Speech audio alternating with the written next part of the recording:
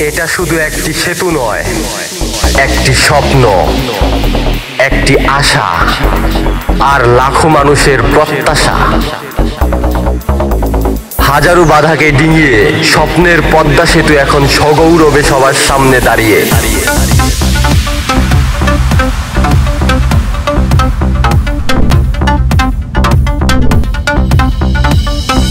যে স্বপ্নের ভিত গড়েছেন স্বাধীন বাংলাদেশের স্বপ্ন দ্রষ্টা জাতির জনক বঙ্গবন্ধু শেখ মুজিবুর রহমানের সুযোগ্য কন্যা, মাননীয় প্রধানমন্ত্রী শেখ হাসিনা।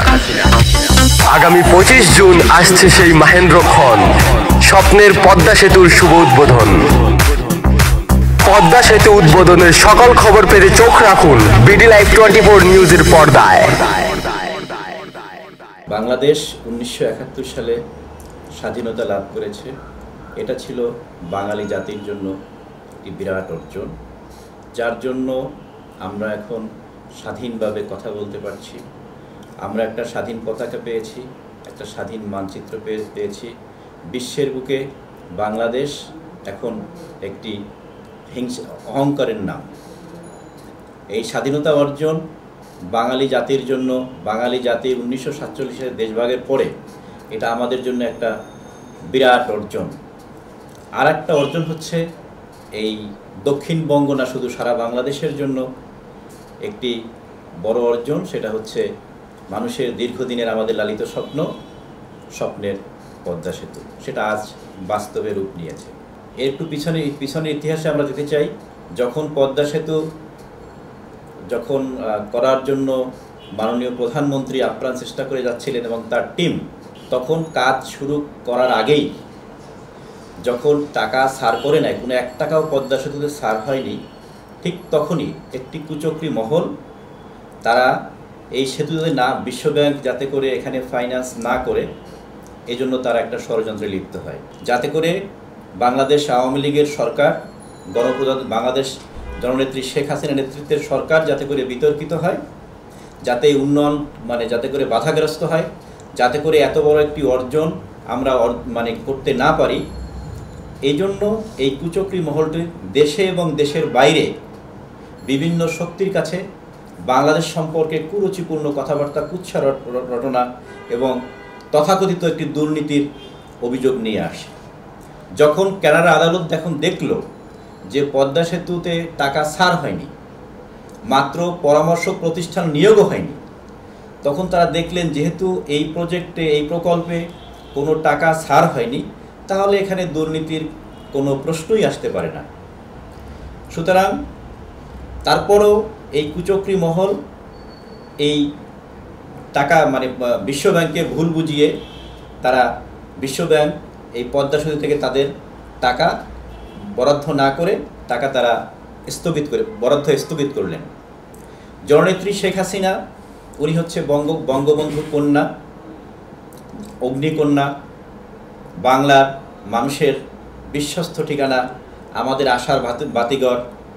উনি সাহস দেখিয়েছেন, উনি ওনার সাহসের, উনি বললেন যে না, যেহেতু বিশ্বব্যাংক আমাদেরকে একটি দুর্নীতির একটা তিলক, কলঙ্কের একটা তিলক আমাদের বাঙালি জাতির মানে ললাটে দিয়েছেন, সুতরাং বাঙালি জাতিকে এখান থেকে মুক্তি এখান থেকে মুক্ত করে আনতে হবে। তখন উনি সাহসের সঙ্গে বললেন যে, না, আমরা নিজস্ব টাকা দিয়েই আমরা পদ্মা সেতুর মতো এই প্রকল্পটি বাস্তবায়ন করব।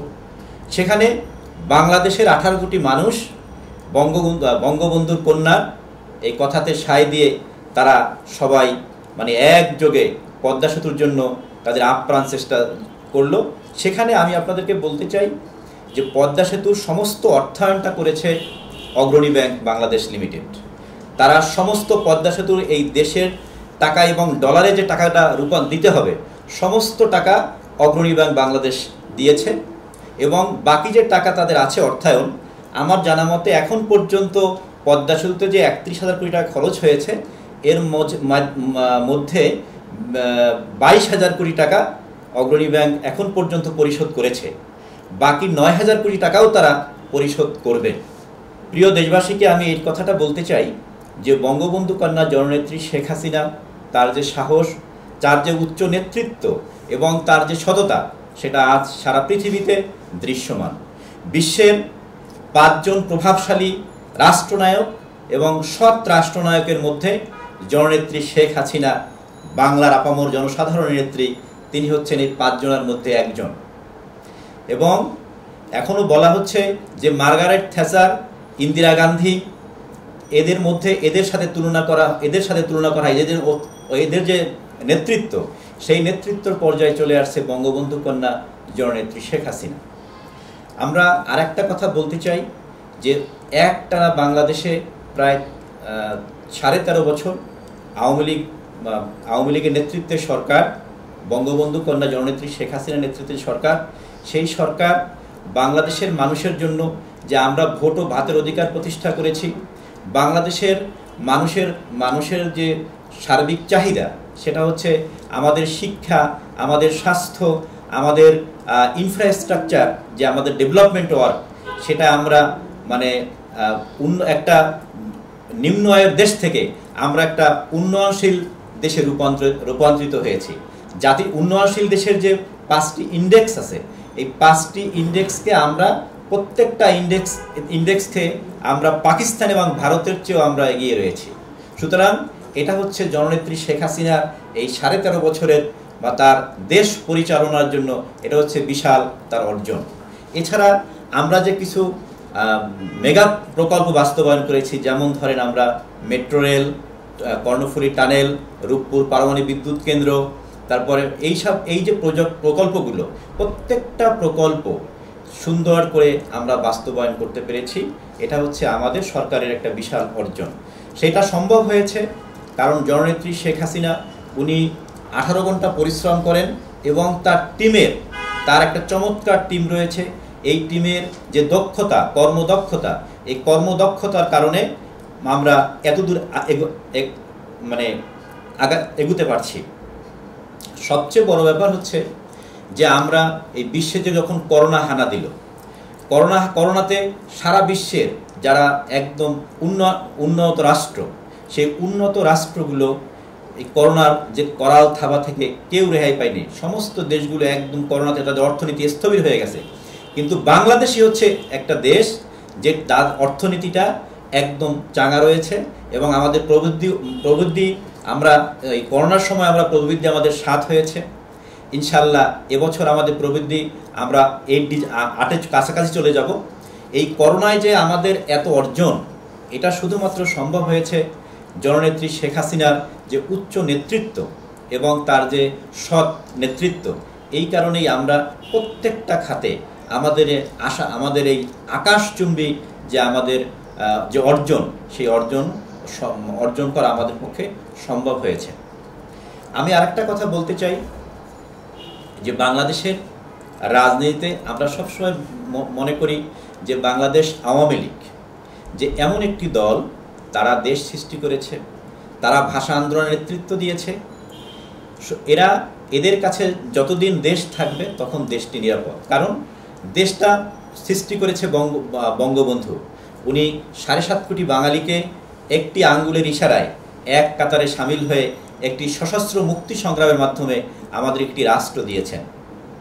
এরপরে ওনার বঙ্গবন্ধু কন্যা জননেত্রী শেখ হাসিনা আমাদেরকে ভোট ও বাতের অধিকার প্রতিষ্ঠা করেছেন, আমাদেরকে মানে শিক্ষার সুযোগ করে দিয়েছেন, বাংলাদেশে বিশেষ করে আমাদের নারীদের ক্ষেত্রে যে আমরা যে শিক্ষায় যে সফলতা অর্জন করেছি, এটা হচ্ছে মানে সবার কাছে একটি অহংকার।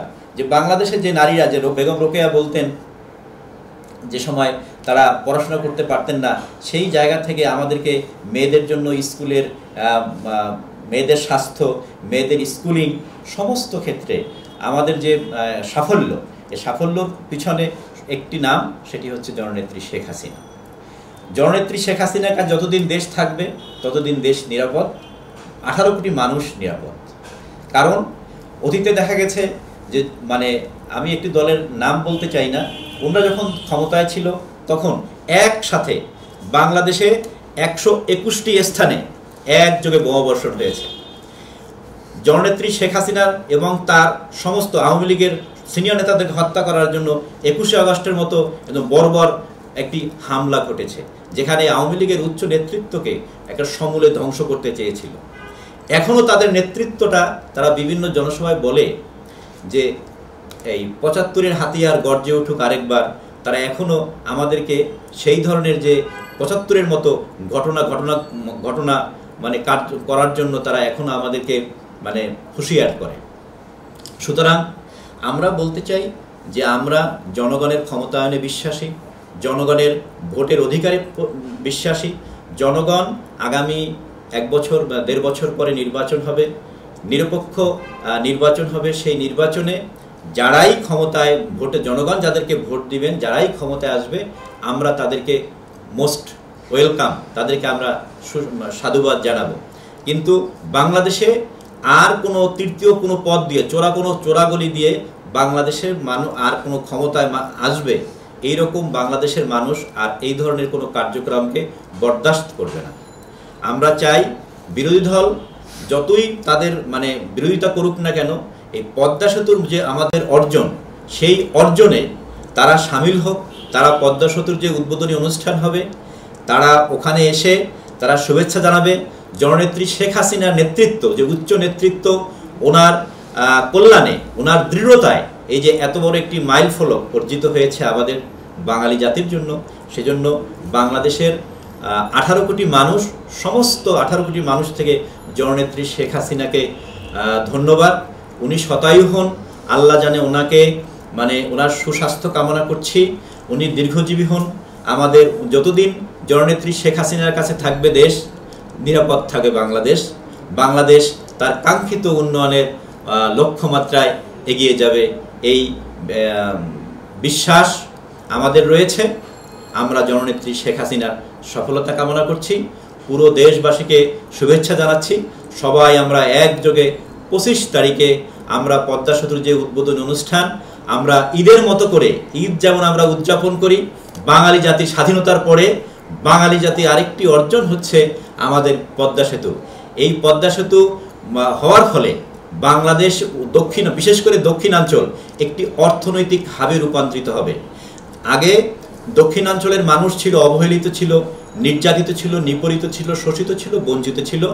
আমাদের পদ্মা সেতুর কারণে দক্ষিণাঞ্চলের আমরা চব্বিশটি জেলার মানুষ আজকে এই উন্নয়নের যে আমরা সুবাতাস, সেই সুবাতাস এই- উন্নয়নের সুবাতাসটা আমরা গ্রহণ করতে পারব এবং দক্ষিণাঞ্চলের মানুষ অর্থনৈতিক সমৃদ্ধি অর্জন করতে পারবে।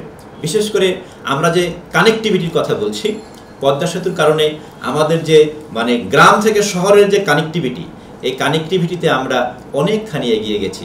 অর্থনৈতিকভাবে এগিয়ে যাচ্ছি। আমরা এই সেতুটা যাতে করে ইনশাআল্লাহ আমরা যাতে সুন্দর করে এই প্রোগ্রামটি হয়। আমরা যারা সারা বাংলাদেশ থেকে এই সেতুর উদ্বোধন অনুষ্ঠানে অংশগ্রহণ করব, সবাইকে অত্যন্ত মানে ধৈর্য সহকারে এই প্রোগ্রামটিতে অংশগ্রহণ করবেন। যাতে করে কোনো ধরনের কোনো দুর্ঘটনা না ঘটে। একজন আরেকজনকে মানে হেল্প করবেন। আমরা অত্যন্ত দৃঢ়তার সাথে ধৈর্য সহকারে এই অনুষ্ঠানে অংশগ্রহণ করব।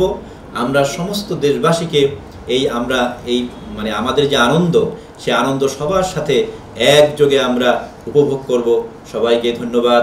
জয় বাংলা, জয় বঙ্গবন্ধু, জয় হোক বাংলার মেহনতি মানুষের।